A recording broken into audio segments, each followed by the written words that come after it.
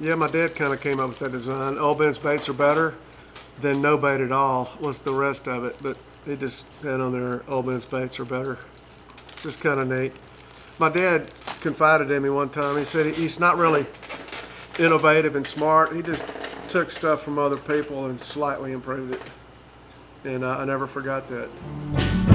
Retro bassin', kicking some ass and wearing rayon jackets. Thinking about Bill Dance, watching these fish prance through my Ray-Ban glasses. Ain't nothing better than 40 year old lures coming off of Zebco 33. Out on the bass boat, making beer cans float, doing some trespassing. Fishing it old school, this old stuff rules. Welcome to Retro Bassin'.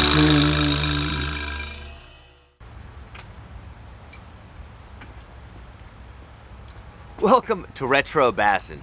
I'm just getting out of one of my favorite tackle shops, and that is Bacon's Tackle in Shreveport, Louisiana. We've made a couple of stops here at Bacon's over the past year, looking at some of the epic collections of baits that Michael Bacon has in his personal collection, including probably the most priceless collection of Fred C. Young original Big O's in the world, Jack A. and Jack K. Smithwick's personal tackle boxes, as well as three ultra rare FLB flood minnows. But there is uh, one lure line that I've been meaning to do a proper retro bassin episode on since I first met Michael Bacon, and that is his family's old lure line called Old Ben's. Michael's inside getting some vintage Old Ben's memorabilia out. We're gonna be talking history, we're gonna be talking some lures, and we're gonna be hanging out at one of my favorite tackle shops today. Stick around.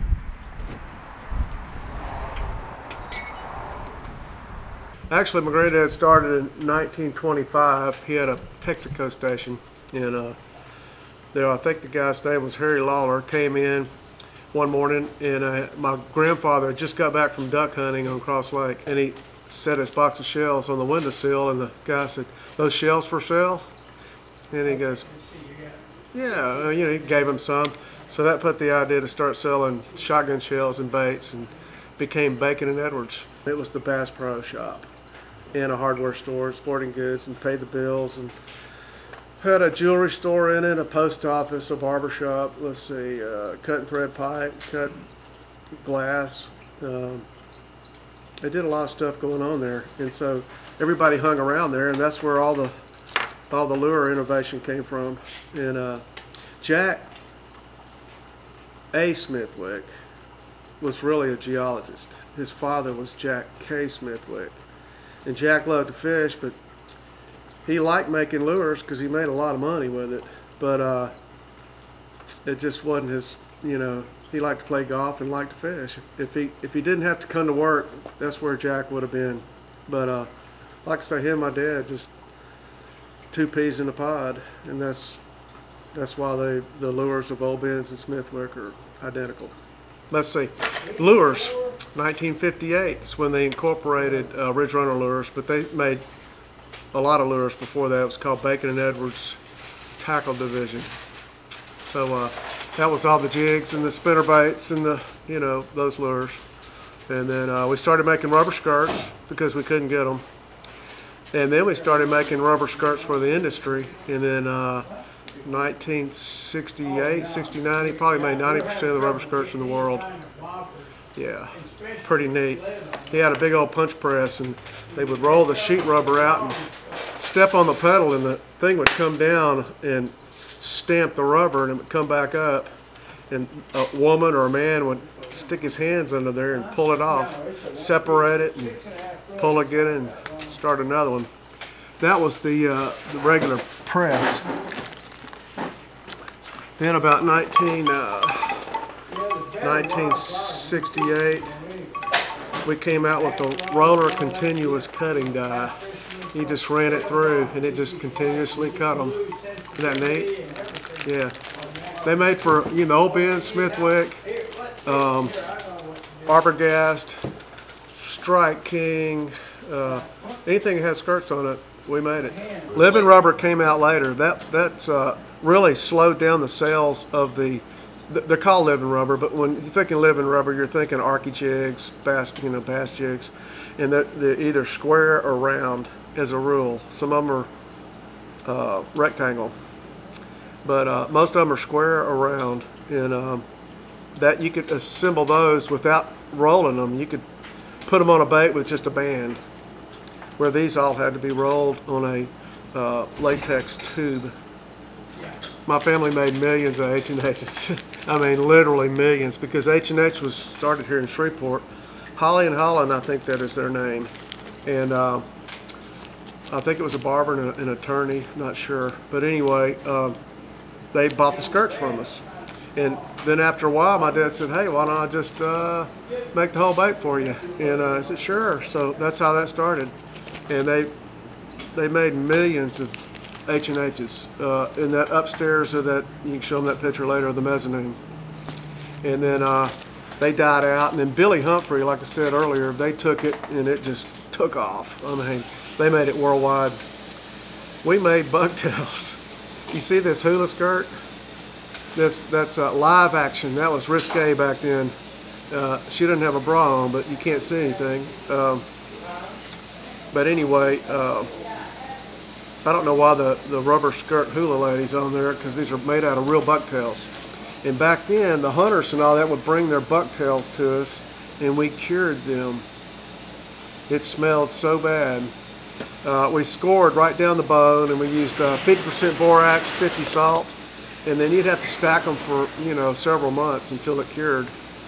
Uh, the cured part didn't go on the lure; it just left them where the hair would uh, stay in one place till you cut it off to make the bucktail. And uh, we had a lot, lot of women making bucktails. The uh, made the hard baits in the mezzanine, which was a balcony over Bacon and Edwards. And uh, Jack Smithwick and my dad were fraternity brothers. And so if you look at the Smithwick lures and the Old Ben's lures, they, they look exactly alike. I wonder why. Uh, Smithwick came up with most of them first. My dad came up with a couple, but uh, they made the identical baits. So, uh, and they exchanged uh, manufacturing. Uh, I forget what year it was, but the Smithwick plant caught on fire, and then uh, my dad, uh, Jack, came over. I remember remember him doing that, and came over and uh, we started painting all his Smithwick lures with the Smithwick name on it and all that until he could get going again.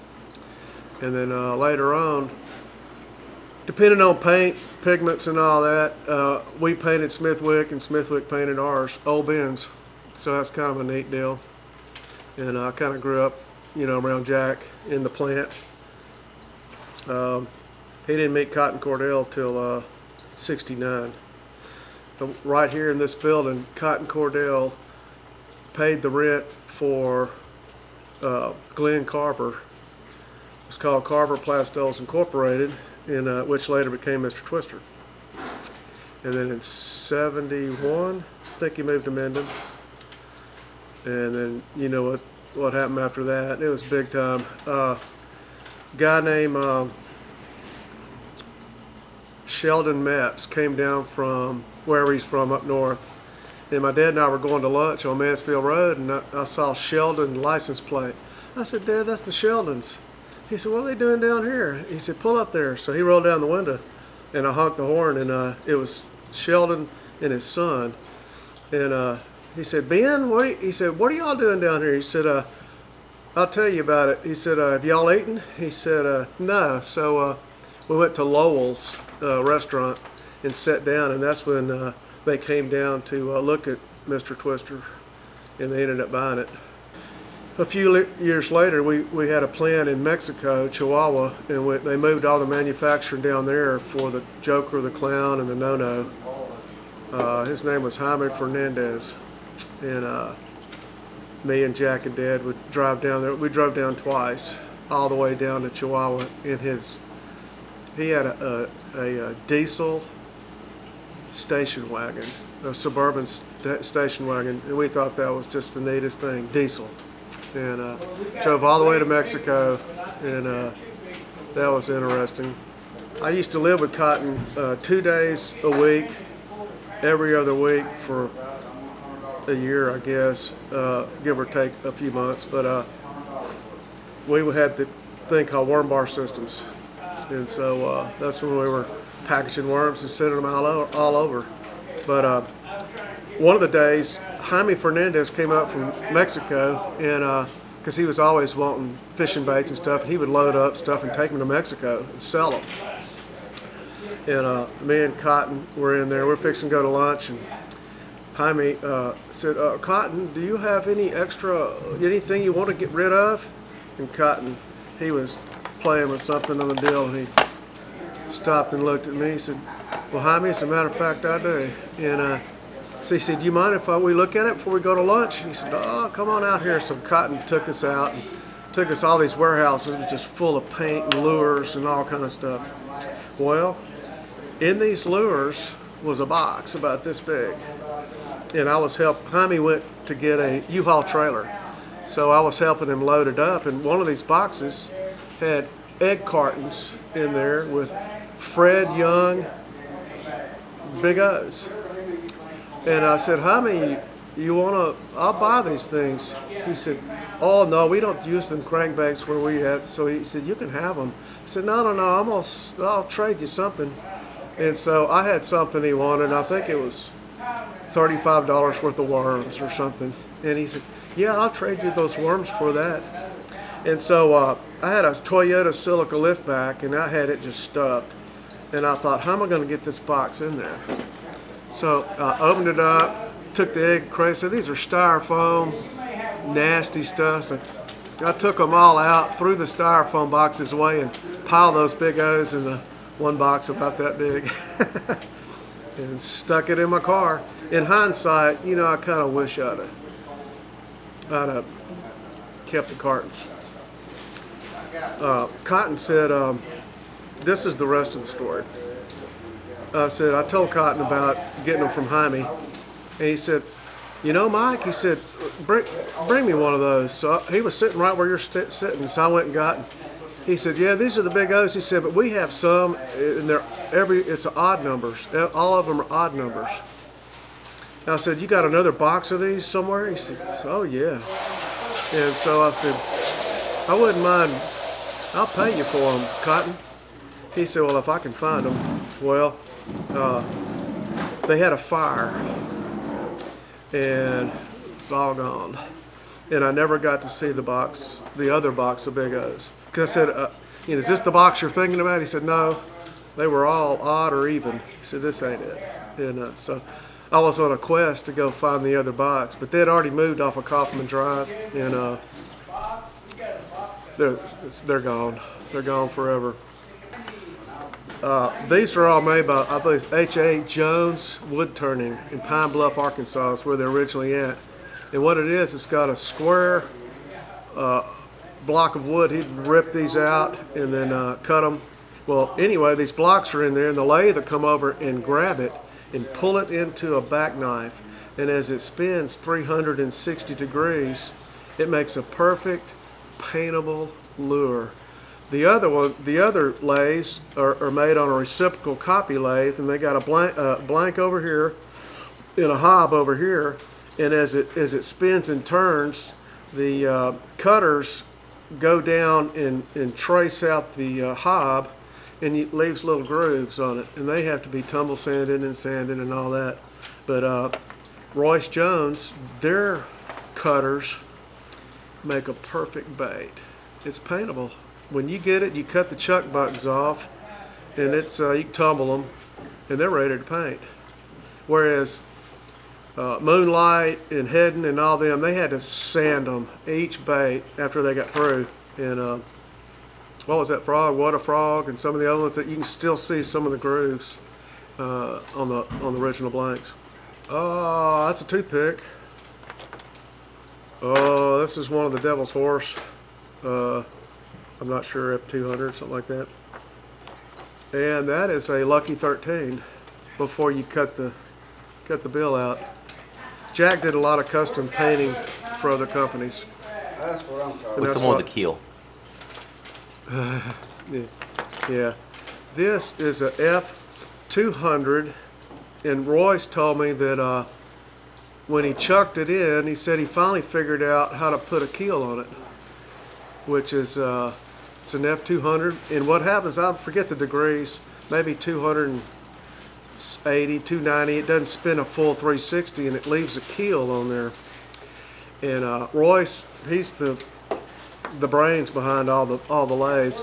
He uh, was fixing to come out with it, and he had sent it to Jack. And uh, I, think the story goes, uh, yeah, it, it's it, they were coming out with it, and then Pradco bought out Jack before this ever came out, and just sat there. And so when I went up there and, and bought the lathes from Royce, he was telling me about the one with the keel on it. And uh, I looked at that and I thought, ooh, that could be a good bait. So really, this one is, if Smithwick would have kept going, this would have come out. I have no, uh, I have nothing to do with the design of this. uh, it's Royce Jones, and I don't think Jack had any input, but it was Royce Jones. That's his baby right there. So anyway, I brought some back, and uh, I'm making them back there now. And I decided to call it a Rolls Royce after Royce Jones. Uh, you, tum- you, I tumble them just to get rid of the chuck buttons. When you cut a chuck button off, it's a 90 degree cut and it's got a sharp edge. So you put them in a tumbler and it just sits there and spins. And as these things tumble, it smooths off the edge. Uh, then you got to pre-drill. I pre-drill all my baits first, and then uh, put like a little alligator clip on there, and you dip them in the base coat, and then I put them on a turner, depending on temperature and what I'm coating, and then you just paint mask and airbrush after that. And I've got all the Smithwicks and Old Ben's paint mask back there in, in the mesh and the guns. That bait right there. Instead of trying to paint all these little squiggles, they have a copper mask that fits over it that's missing the little deals. And when you spray it, it, it shoots through the holes. And when you come off, you got that. Especially the, that, this is a better example of it. And then of course with the eye spot, you just, ladies, the ladies are much better painters than I am, but um, I'm learning, I'm still learning. Um, you can see the progression of it. You just got a base coat white, and then you came in with a uh, green behind a, a, bridle veil. It's called tulle. And uh, when you hold it behind the bridle veil and shoot it, when you take it off, it's got the got the design of the bridle veil. Then you do the mask, depending on what colors you're doing. But that's uh, that's called a, a brim color or chinkapin brim. Oh, this is a neat one. See that? That's a vacuum metalizer. I was uh, 16 years old, and uh, Jack Smithwick had a vacuum metalizer. And the vacuum metalizer, you put all these baits on racks and you push them into an iron lung. It's a, it's a deal had a clear window with uh, like they use uh, helmets on deep sea divers, you know, with the little twist and then you put them in there and they it, it shoots a charge through it and then uh, uh, it's vacuumed shoots a charge and the, the little clips get ready to melt and then when they up the charge it, it attracts to the uh, opposite pole and coats anything you put in there with metalizer. And uh, those machines are very expensive. And so Jack uh, this is one right here. That's one that's never been uh, off the clip you can see it, it shot the gold on the clip itself and this. Bacon Edwards Tackle Division were the first lures he came out with. And then um, Old Ben, he just decided to come up with Old Ben. I'm guessing probably 60, 59, 60, somewhere in there. And then uh, my grandfather bought a peanut parcher, and I'm guessing 59, 60, and parched peanuts and they called it Old Ben's Goobers. And so uh, that's when it came out with this uh, goober tail worm. Uh, and I don't ever want to pour plastic again. That was a nightmare. Uh, when you're 15 years old and you got pimples coming up and you add worm oil to it, it just really made it worse. But uh, anyway, that's uh, that's where the Old Ben's Goober came from, the name. I think Pico Perch was one of the first ones. Uh, that was a Padre Island Lure Company. Ed Hinkle was the guy's name. And uh, anyway, something gets selling good, everybody copies it. And so uh, Heddon copied it, Bayou Boogie, uh, Smithwick, uh, and then Old Ben's. We all we all copied them. But uh, that's what those are. These are old Ben's here. You have the uh, Hobo, the Millionaire. That's the only two he made that I'm aware of. The Hobo was supposed to be opposite of the Millionaire, obviously. And uh, originally he had like gold hooks and gold uh, hook hangers. And we used to, uh, I used to plate the hooks in gold. It was had a big jar with a lid on it, and uh, you put them all on a little chain and drop it down there, and you can see it just turn gold. As bass fishing progressed, people started throwing bigger baits for bigger fish, like Doug Hannon came out with the big big baits, and uh, so everybody came out with some big baits. But actually, Heddon all them really had big baits to start with because you couldn't throw a small bait on a little bitty reel that the handle spins backwards and you got a hundred pound braided line. It wasn't going very far.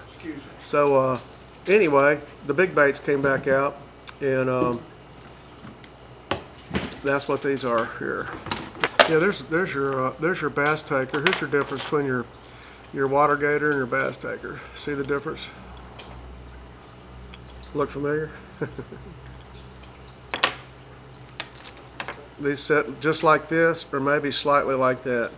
Um, it's just a, a walk the dog bait. It's kind of neat. Um, my dad came up with these.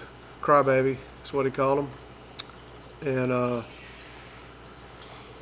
they just removed the hook over here because around here there's just all kind of moss hang-ups and stuff. So he, one less hook helped. He had a 15 hook dowel jack and it down to a one three prong hook. It's still still get hung up. We have the Magnum Tormag and then a regular Tormag. And that's just his answer to a uh, Heddon torpedo. But these are all wood. Yeah, this is this is an old Ben's right here. This is called a Hustler. And this also, uh, Smithwick made some I think called for, Bass Buster. Remember Bass Buster made the exact same thing. A lot of lot of trading uh, body shapes uh, at that time. Yeah, my dad kind of came up with that design. Old Ben's baits are better than no bait at all. Was the rest of it, but they just had on there. Old Ben's baits are better. Just kind of neat my dad confided in me one time. He said he's not really innovative and smart. He just took stuff from other people and slightly improved it. And uh, I never forgot that. They all did. Jack, Cotton. We made we made boats too. This is uh, kind of on the order. Uh, it's not a tide craft. It's uh, more stick steering, and it's a it's a uh, gosh, I can't think of the design. But anyway, he made a lot of these back in the 60s and 70s and sold through Bacon and Edwards, uh, the old hardware store. And this is actually the building we're in now.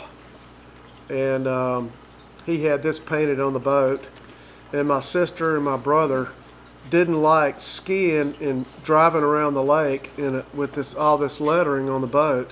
So they uh, one morning they got up on a Saturday and took Brillo pads and scrubbed it all off. and uh, I don't know what my dad paid to have that hand painted on there on both sides. And uh, he came home that evening, and uh, my dad was a Sunday school teacher, but he almost cursed that day. And uh, I'll never forget that. Uh, there it is, back there hidden somewhere.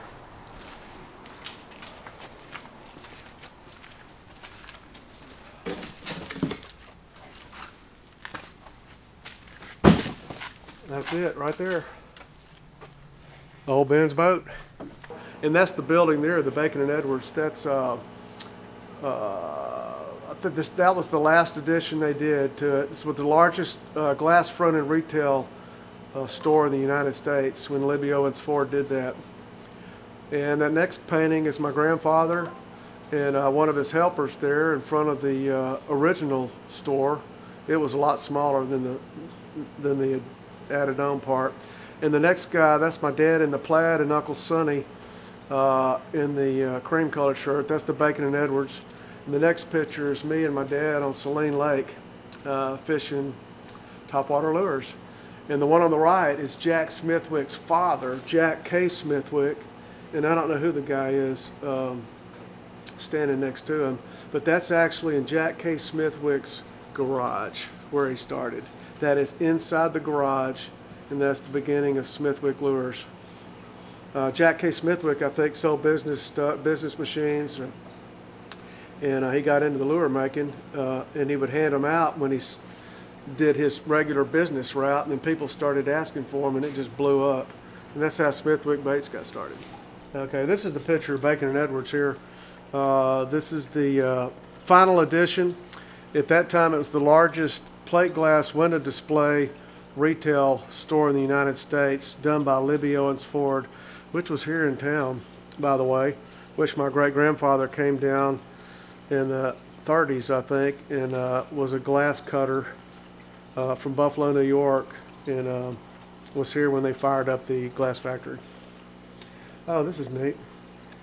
This the paint. This is the paint booth. This is uh, Jenny and Helen Lackabee, I think, and that's my dad. That's old Ben, and these are all the old Ben lures. Um, you know, that's uh, being painted. That's where I learned to paint, but I really wasn't very good at that time, and I'm still not. I can pick up a lure and kind of tell who painted it. You know, it's kind of neat. Uh, these these these ladies got really good. I mean, that's all they did all day long. They just sit there and talk and paint and not even look. Um, and that was the packaging department. Back then, they used uh, coffee cans, and they had the baits hanging on the inside and another row on the outside. And uh, that's that's where they kept the baits from getting all tangled up till they packaged them. Another good friend of ours, Wayne Wayne Kent, Wayne and Judy Kent, they own Creme Lure Company.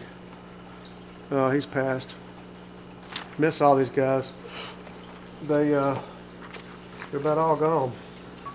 Another Smithwick. That's kind of neat. Have you seen the Gandy Dancer?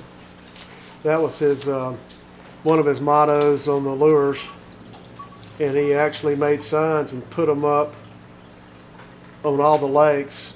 Um, this one big board. It says, "Have you seen the Gandy Dancer?" And that's all it said, and it left uh, it left the public to go find out what a Gandy Dancer was. Pretty good, uh, pretty good idea. I've always liked frog skin lures, and uh, and I wanted, you know, continue in the bait business like my dad and all them.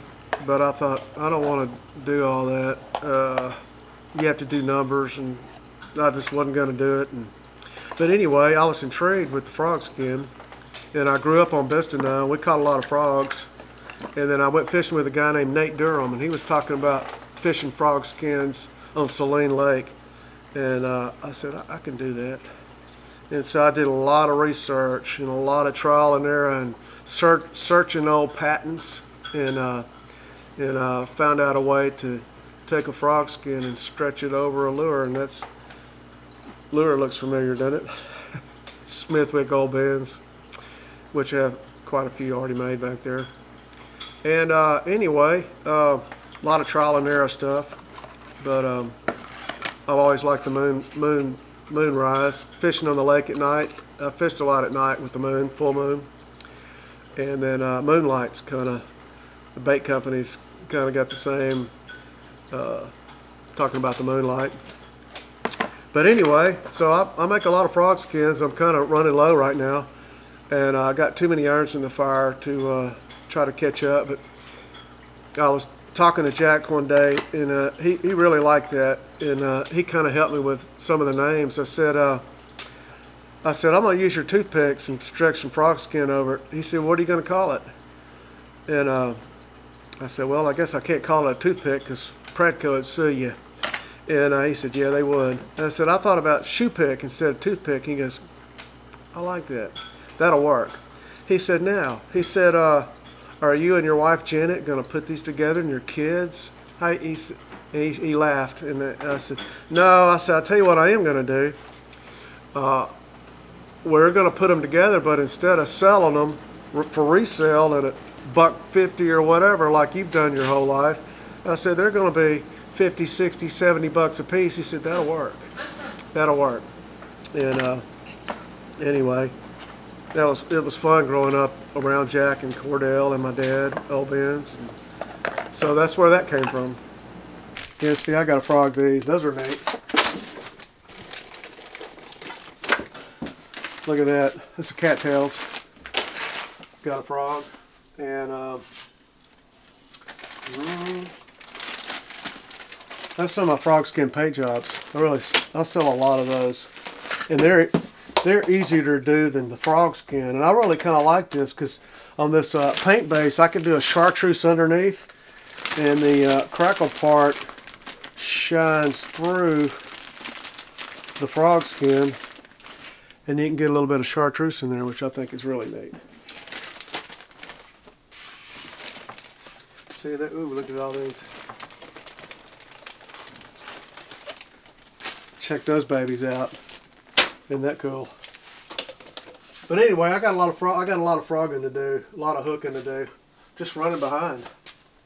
Yep, this is the one that uh, uh, Royce Jones and Smithwick were working on. That's called a Rolls Royce, and you talking about cut up? It really cuts up. I mean, there's not a bait like it.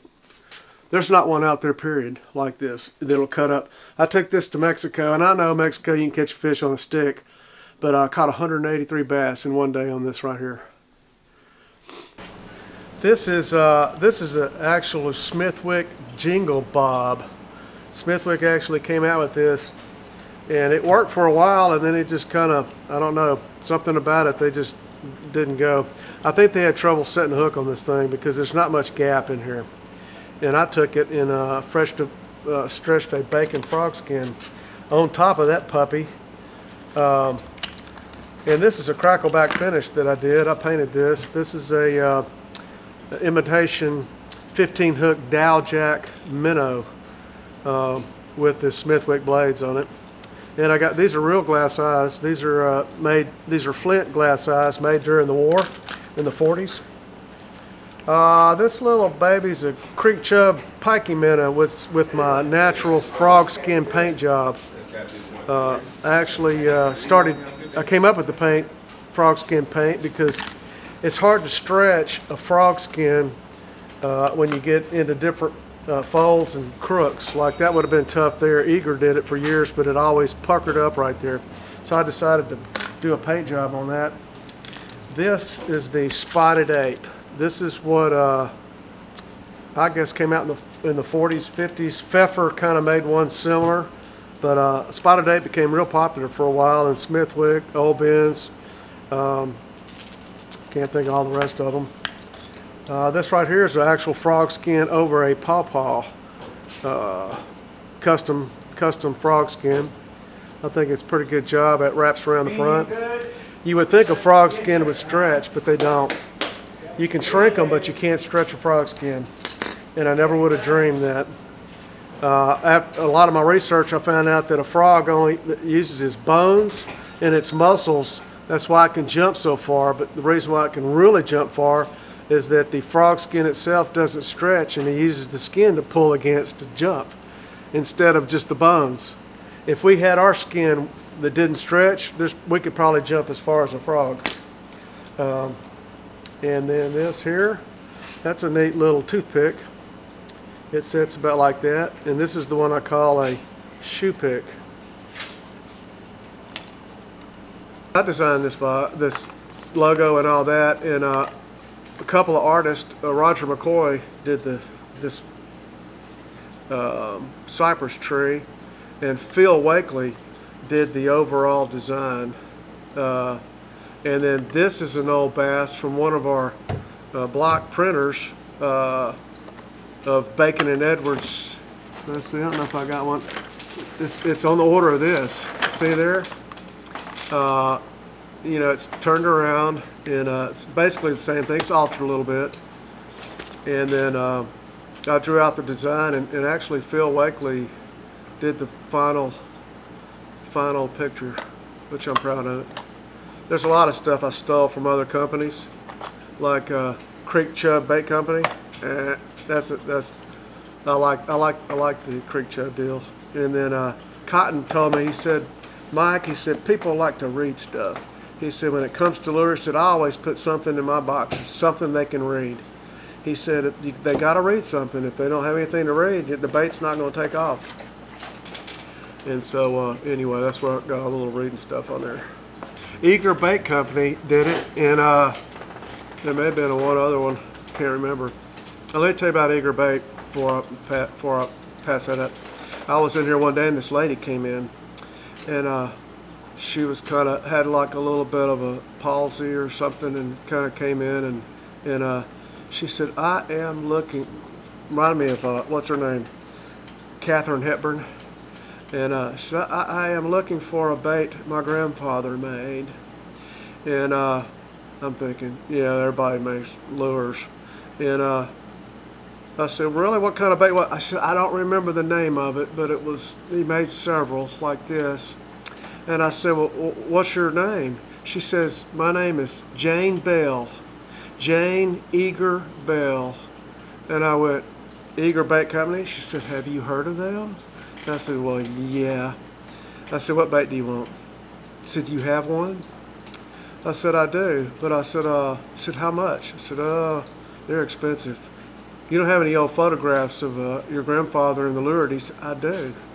So she brought me, uh, I said, I'll trade you. I, will go back and look, see what I can dig up, and you bring those pictures in. And she came back in the next day and had a picture of her grandfather standing on a uh, fence post about this big around, a gate post, and uh, addressing the workers of the uh, Bar Bartow, Florida, I think that's where they're from, uh, the workers out there, and a few other stuff uh, pictures of him holding a bunch of fish. But anyway, it's just kind of neat. Something you get on your mind and it just comes to you. I mean, what are the odds of Jane Eager Bell coming in here uh, in the lure business? I mean, it's just wild. It's just wild. My life's been like that. Just stuff just kind of comes to you. If you have it on your mind, it just shows up one day. It's just really, really wild. Fishing it old school, this old stuff rules. Welcome to Retro Bassin'.